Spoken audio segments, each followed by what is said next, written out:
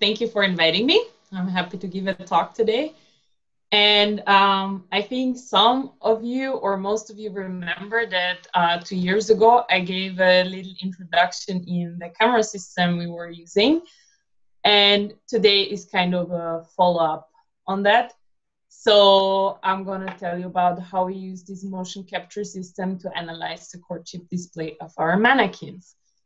And so first, just a little introduction. Um, why is this motion capture of courtship important or why are we doing this? So most of you know one of most of the unique and complex behaviors evolve through sexual selection, such as the dance of birds of paradise or peacock spiders, and of course also our manakins. And we know these displays are essential for reproduction and female choice, or in some cases, male choice, but often they are very difficult to investigate because the movements are very rapid or the animals are really small.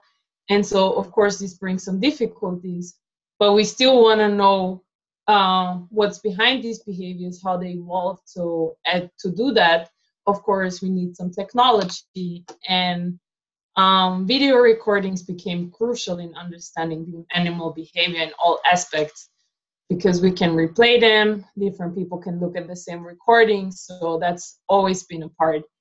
And then in the last years we had the high speed recordings and that already gave us an amazing insight in what animals can do particularly if we think about manakins their crazy flips and dances and then we can do a slow motion analysis to be able to actually watch that. And so uh, one of another big milestone was uh, the usage of motion capture systems that are really uh, great in understanding animal behavior and also biomechanics.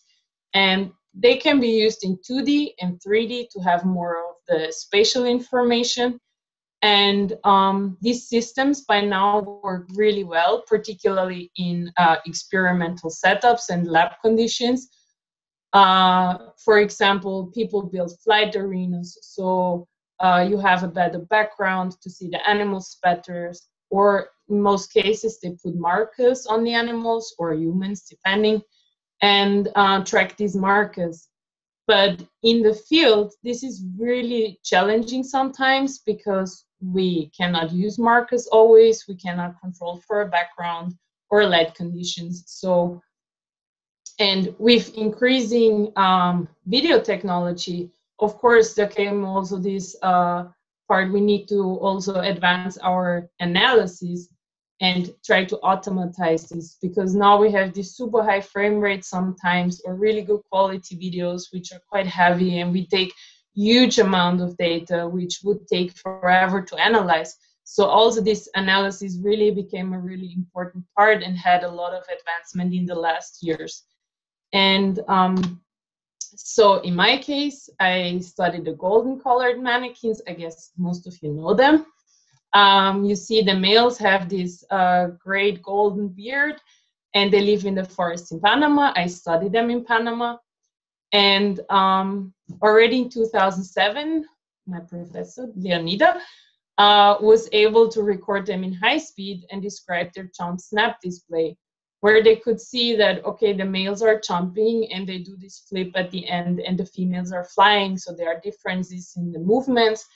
And then in my last study, I found that, or we found that their behavior sometimes shows a very stereotyped motor sequence pattern.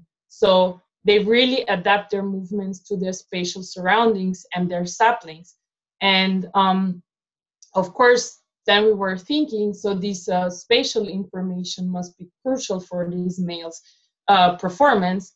And also, maybe this is a really important information for the females. So, not just the males, also maybe females evaluate more than just uh, certain parts of the dance.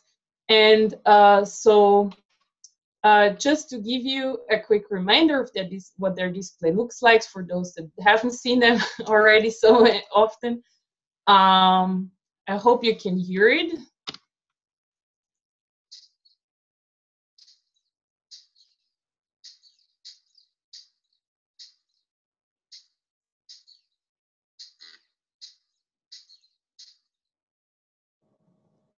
I hope that worked. Maybe not so loud, but at least a little bit. So you could see the males doing their wing snaps while jumping. There was even a female joining the male in the arena doing the dance with him.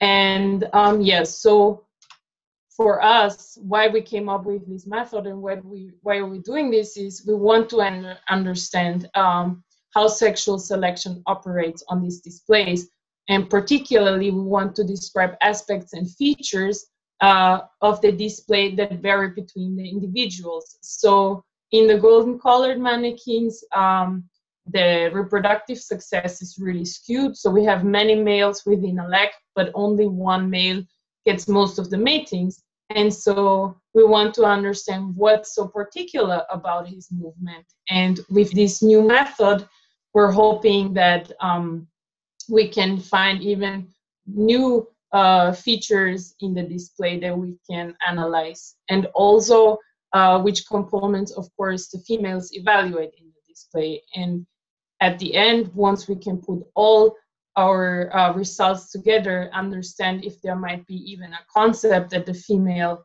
evaluates not just a single part, but many parts together. And so just to, um, so you can remember what my camera system looks like. So we had these three cameras that were connected to this computer and a synchronizer. They are high-speed cameras we recorded um, with 60 frames per second, which is not crazy high. Um, but for the purpose that we wanted to use it, that was sufficient. And also like this, we could, of course, uh, record more data at a time. And then uh, this is what it looked like in the field. So we camouflaged everything. We put up the cameras and the system around the arena so we didn't disturb the animals too much. So we still had a good view, but not like disturbing them and um, we ran calibrations, of course, to get a 3D space. So we had a 2D calibration to understand, to get the parameters for focal length and lens distortion, and then the extrinsic calibration uh, to understand the position of the cameras to each other. And we added a third calibration to get the absolute position of the arena in the space so that we really know how it is rotated. Um, which was a really important part actually for our further analysis. And uh, of course, once we had all these things put together, we had to analyze all the recordings of the males. And doing that manually would have taken a really, really long time. So we we invested the time in um, training a deep learning algorithm so first we did some manual annotations um, and developed this software together with a company called LoopBio. So this was like a back and forth. And uh, we used a method for pose estimation. And after a while, our program learned to identify the bird, even in our videos where sometimes the light or the background were really difficult, but um, by now it worked really well. And the best part about it is we didn't need any markers to track the birds, which could have led to some disturbance or maybe impact the female choice. So that was great. And so this is what it um, looks like. So you have the three videos from all three perspectives of my cameras. And I hope you can see that around the bird, there's a little red box. So this is the box that tracks my bird. There is no uh, audio in this video, but you can see that it really follows the bird in each video through all the chomps. So that is really awesome. So we don't need to do this manually because it would take really a lot of time. And so yeah, once you have these uh, automated annotated videos and you put everything together, of course, of course, you get a lot of noise. So we needed to start with data cleaning because of course the computer really computes. So it doesn't follow anything that we actually see. And uh, first we, we started by removing some frames uh, that had a displacement of precisely zero, which means that uh, the, the model, the deep learning kind of lost the bird and it just kept the frame from before. So uh, it means that the bird stayed on the same space and didn't move forward for the computer. So we had to remove that uh, to get to delete some errors. And also we removed some points that had unreasonable high speeds. So you would see the tracking of the bird and then there is a dot outside of the arena, which can be a leaf that got tracked from all three uh, positions or yeah, just some error. Um, this we did by looking at some histograms to and like uh, we found a threshold that work, works really well that doesn't exclude too many dots, but those that are really not fitting. And I need to get out of my presentation. I hope everything keeps working. I just want to show you. So there is, um, we made a plot of how this looks like. So this is what we actually get out once we have all the stuff put together and you see like the involvement from the jump so the back goes back and forth and then jumps to the next sapling and from there back to another one and then back to the ground and then back up. So this is actually what oh, i'm sorry. This is what the results in the end looks like. So that's pretty nice. So i can see how my bird jumped in his arena. Um,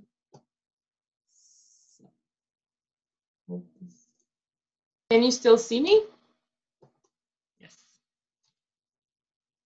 Um, okay, so yeah, this is what we had in an outcome. And once we had this, uh, we started to uh, extract the trajectories of the jumps.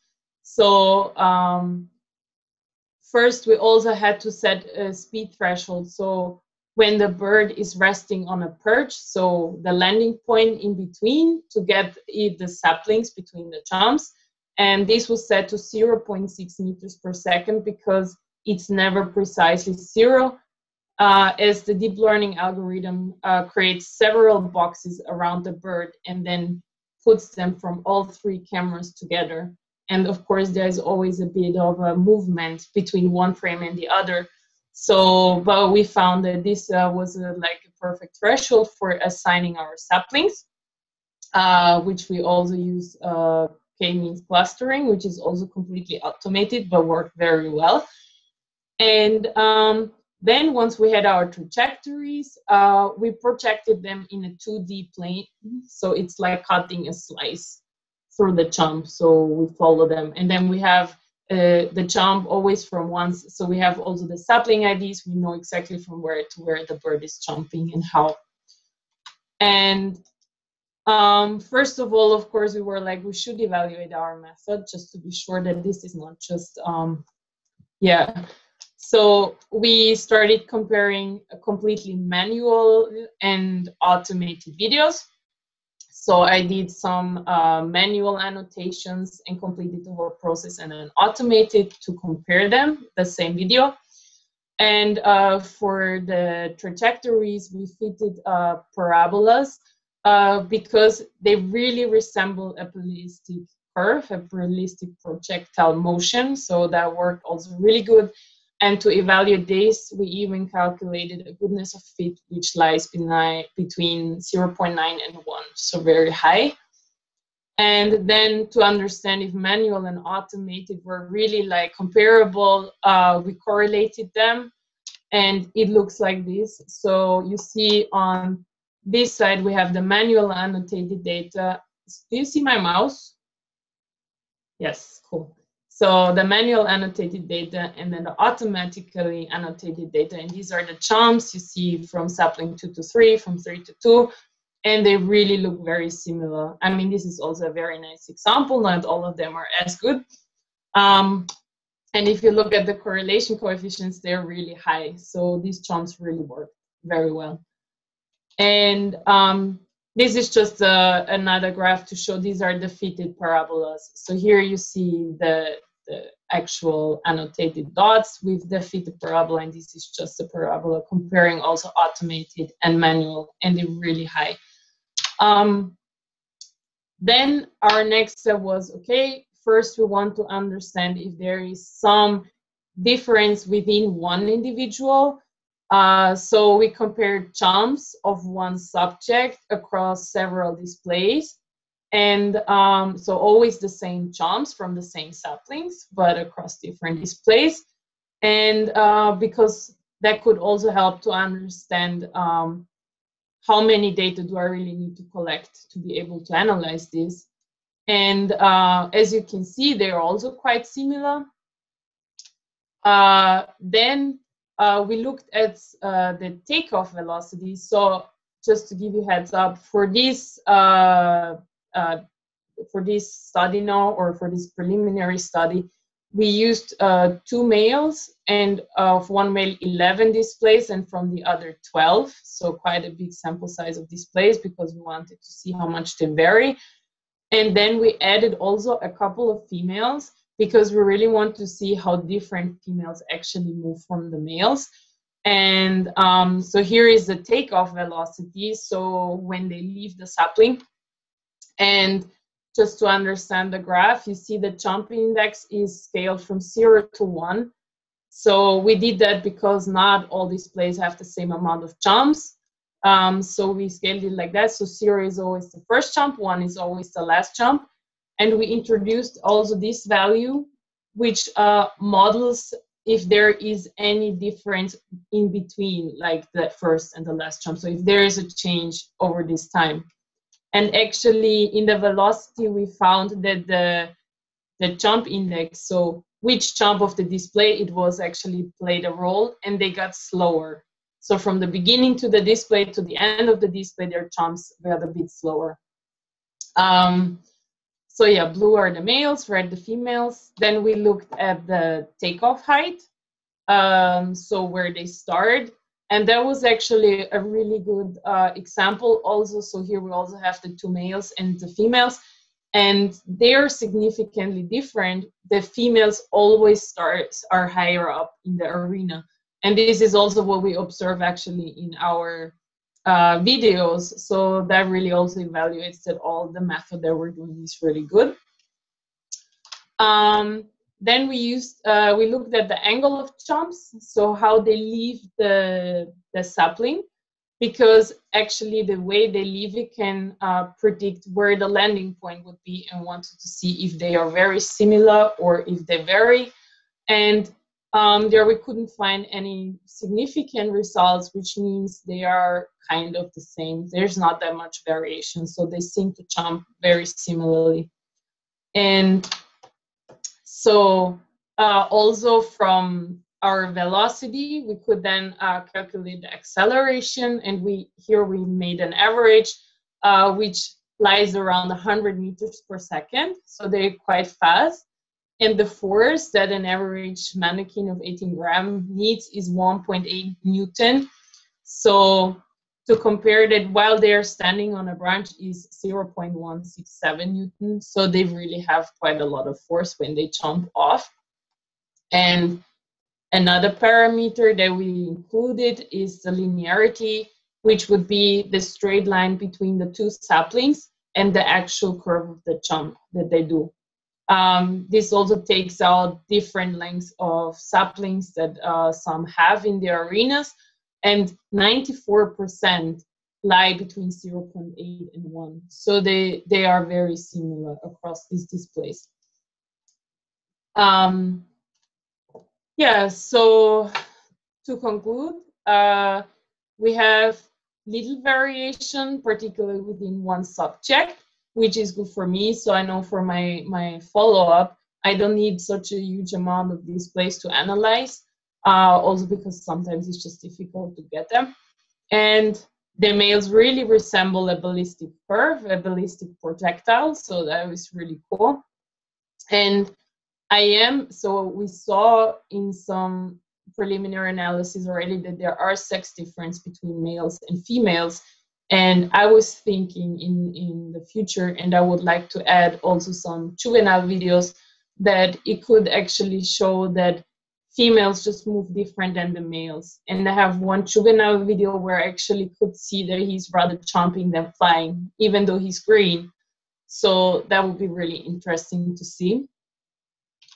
Um, so the next step will be that I add more males. I want to see the difference between the males particularly the successful and the unsuccessful males, because I'm now the two males that I used are were two successful males, so they were quite good. But I'm hoping to adding some of the other males will uh, give us really nice results.